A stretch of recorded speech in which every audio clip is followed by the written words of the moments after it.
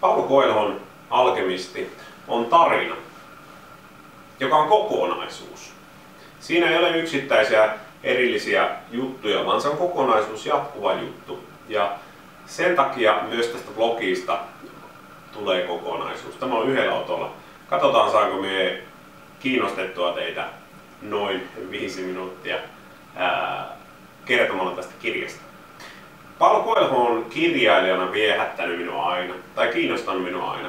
Ää, koskaan en ole kokonaista kirjaa Coelholta lukenut ennen alkemistia, mutta paljon on hänen lainauksia ää, lukenut ää, itsessään. Ja nyt vihdoin ja viimein, kun tuli tämä haaste, 52 kirjaa 52 viikossa, niin kaivoin hyllyiltäni Paulo Coelhon alkemistin, jonka on ostanut 5 tai 10 vuotta sitten. Ja aloin lukemaan sitä. Ja kuuntelin myös osan kirjasta. Ää, kirja on kirjoitettu vuonna 88, mutta kuten kaikki hienot ja hyvät tarinat, se ei vanhene.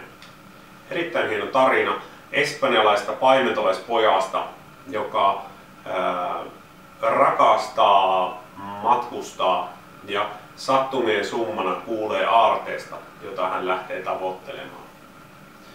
Hän myy kaiken omaisuudensa, eli lampaat, ja lähtee kohti aarretta.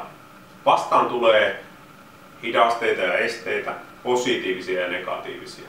Aikaa kuluu. Useammassa kohtaa hän miettii, että kääntyäkö takaisin, palatako vanhaan. Silti joka kerta hän jatkaa eteenpäin. Nyt tulee spoiler-alertti. Lopulta poika löytää aarteen. Yes.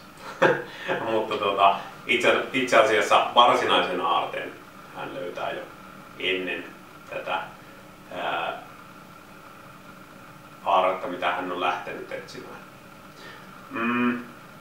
Kirja itsessään vaatii aikaa. Kirja vaatii pohdiskelua. Se vaatii sitä, että siinä on oikeasti ajatuksen kanssa.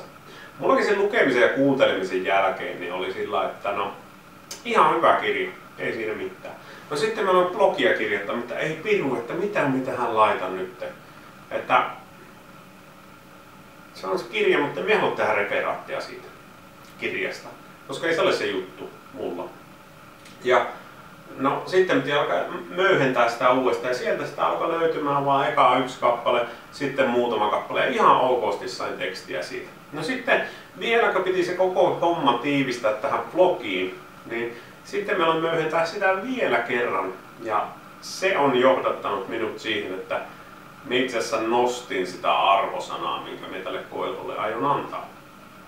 Ää, varsinaisia kolahduksia ei ehkä itsessään ole, tai riippuu millä tavalla kolahdukset määrittää.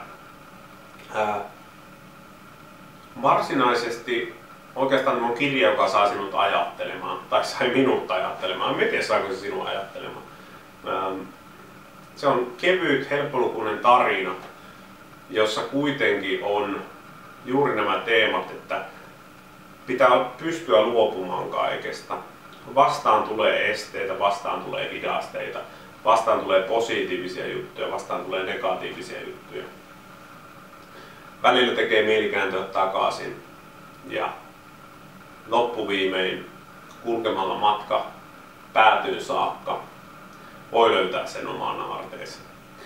Kaikki polut ei pääty yhtä hyvin kuin tarinat, valitettavasti. No, mutta monta kohtaa on semmoisia, että sitä miettii, että no mistä olisi itse valmis luopumaan siinä, kun lähtisi tavoittelemaan jotakin omaa visiotansa.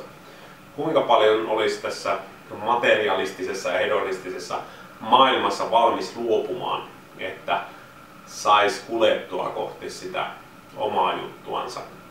Sitten toisaalta miten eh, taklaisi, kun tulee näitä esteitä ja hidasteita eteen ja vastaavaa. Että tämä kirja, josta on mukava reflektoida. Ehkä ää, juurikin niissä kohdissa, jos itse olisi tämmöisen niin esteen edessä tai polulla, polulla mistä varmaan jokainen on, mutta tuota, omaa aarettansa kohti menossa, niin millä tavalla niistä sitten itse menisi eteenpäin?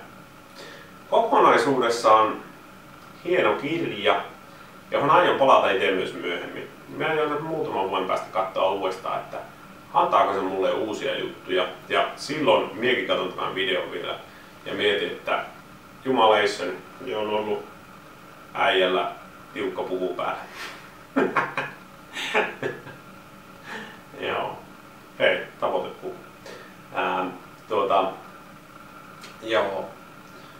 Kokonaisuutena Paulo Coelhon Alkemisti on kuitenkin hieno tarina. Se tarjoaa pohdittavaa, se tarjoaa minikolahduksia tai ainakin semmosia, että siitä voi saada paljon irti. Ne on vähän kahden vaiheella. Onko se kolme ja puoli vai neljä kautta viisi. Mutta kolahduksia.com videoblogi arvosanaksi Paul Coelho alkemisti saa. 3.75